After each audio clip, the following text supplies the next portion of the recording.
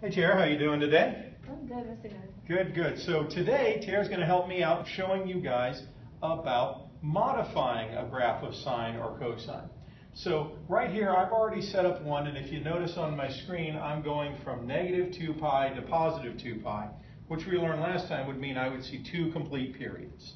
So let's go ahead and take a look and here we see one complete period, two complete periods. Now what I want to look at is modifying graphs, and I want to see if you can predict before I show it what's going to happen. So first I'm going to mess around with sliding graphs up and down a little bit.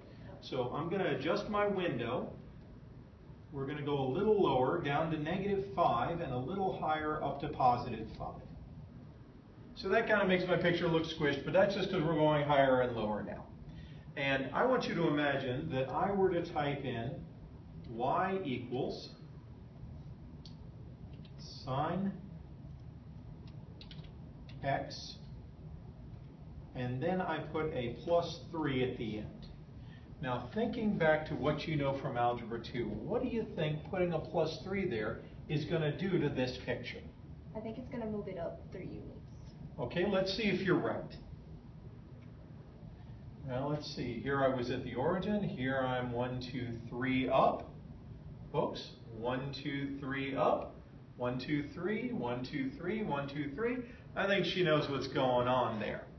Now, let me turn this off for a minute and let me ask you, what if I change that to a minus? What if I had sine x minus 3? Then what? I think it'll just go down 3 units. Let's see if you're right. Hey, do you know what's going on or what? Yeah. Yeah, you do. All right. Now, let's go back. And this time I'm going to change how I write things a little bit. You'll notice on those last two, I didn't use any parentheses. This time, I'm going to write sine of x minus pi over 3 over 3. Type that wrong. Let me fix that. Pi over 3. What in the world is going on here? Pi divide. There we go. There we go. I forgot how to type for a minute there. Okay. Now thinking back to Algebra 2, what happens to a graph if instead of sticking plus or minus at the end, I stick it directly onto the x. Instead of moving up and down, it'll move right or left.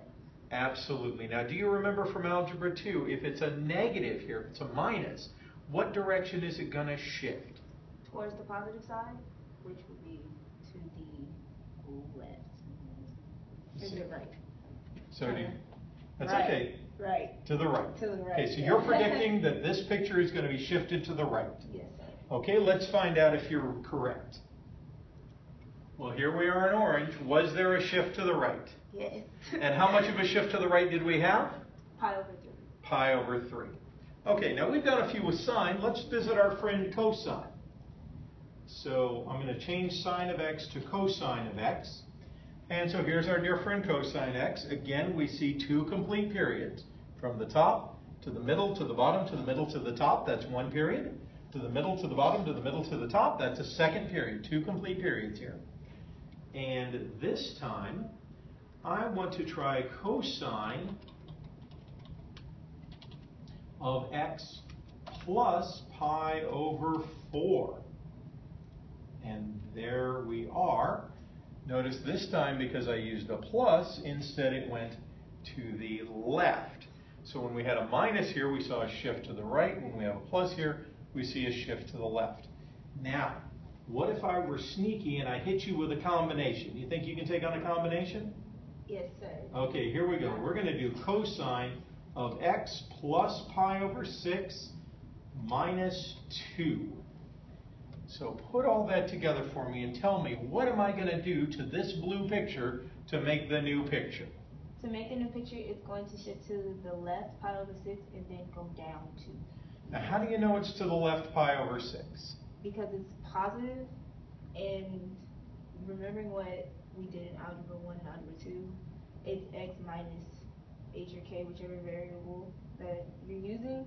And so a minus and a minus make a positive, which means it'll go to the left. Okay, and you said it was also going to shift down by 2. How do you know it's down, not up? Because this time it's outside of the parentheses and this is minus. Okay, folks, you heard her. She says this is going to shift to the left pi over 6 and down by 2. Let's see if she knows what's going on. Well, here was our peak, and now our peak is over here. Is that a shift to the left? Sure is. And here our graph used to go from negative 1 to 1, and now it goes from negative 3 to negative 1. So it sure has been shifted down. I would say you know what's going on when it comes to this. Okay, folks. Now, little bit of vocabulary. When we shift left right, we call that a phase shift, P-H-A-S-E. And when we shift up down, we call that a vertical shift. So that's your vocabulary to go with this activity. Next video, we're going to look at stretching or squishing graphs and making them taller or shorter.